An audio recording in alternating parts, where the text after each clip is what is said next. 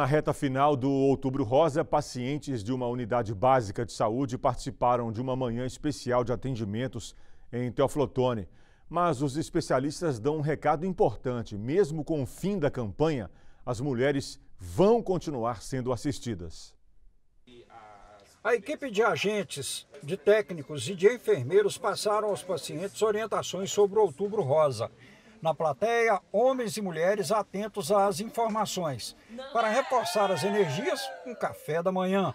Marcela diz que a campanha de prevenção ao câncer é acentuada. A prevenção é, pré, é a parte precoce, né? Da gente descobrir, fazer um diagnóstico precoce, o autoexame da mama, realizado mensalmente, sete dias após a menstruação, né? A mulher deve fazer o autoexame da mama e a mamografia e ultrassom das mamas quando indicado. A Unidade Básica de Saúde da Vila Verônica atende nove bairros na Zona Sul de Teoflotone, uma população que precisa de informação.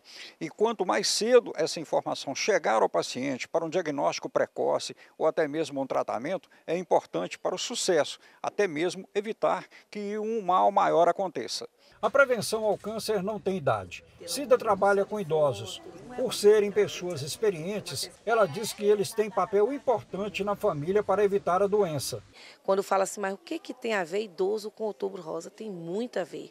Que além deles se cuidar, eles também vão estar passando isso para os filhos, né?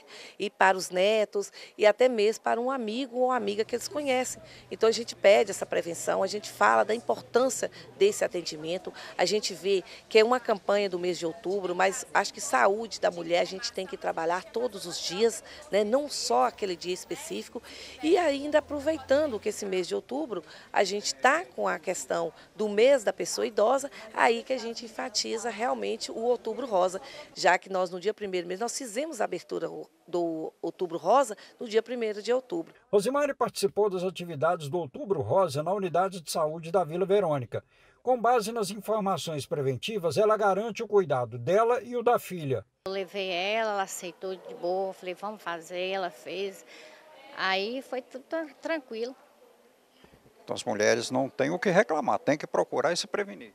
Tem que prevenir, sim, com certeza. É uma prevenção para evitar o, o se for tiver algum problema, aí tem acompanhamento tudo certinho para não ter aquela grande consequência, aquele impacto assim que, que todos nós temos medo, né, do câncer.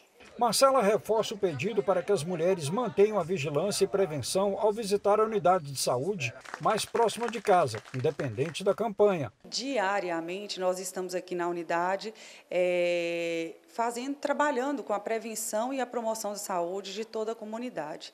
Em especial, esse mês, o mês de outubro, é um mês de conscientização contra o câncer de mama. Então, é, durante todo o ano, a mulher é orientada aos, ao autocuidado, tanto das mamas, quanto a prevenção quanto o câncer de colo de útero e outros tipos de prevenção e promoção à saúde.